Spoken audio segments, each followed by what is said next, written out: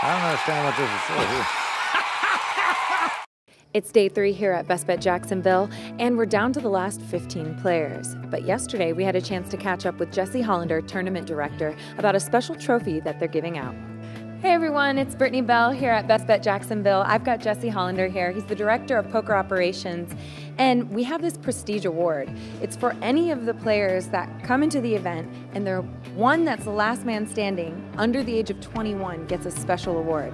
Tell us about it. That's correct. In Florida, we have a unique opportunity where you only have to be 18 to play poker. So to attract some of the younger poker players, we offer up this surfboard as a last longer bet. So the last player standing under 21 receives that surfboard. Brian Irish Jones is our youngest player left in the field, and we caught up with him on the break. All right, we're here at Best Bet Jacksonville World Poker Tour main event. I'm here with Brittany and Ivy, and our winner, Brian Irish Jones, just won this surfboard, custom made surfboard here in Jacksonville by Mike Wizenut, custom surfboard maker. We give this to our younger players. All right, Brian. So there are 16 people left in this tournament. Obviously, you are uh, you are the youngest. And uh, how are you doing so far? How's your chip stack? I'm um, sitting pretty nice actually. I'm in about 700,000 chips.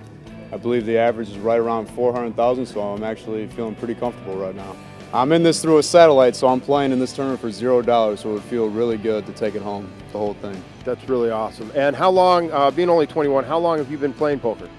Uh, probably about four or five years, just playing with the family at the house or a couple friends at a house game, but about four or five years, I'd say. And remember that if you're between the ages of 18 and 21, when you play our main event here at Best Bet Jacksonville, you can still walk away a winner.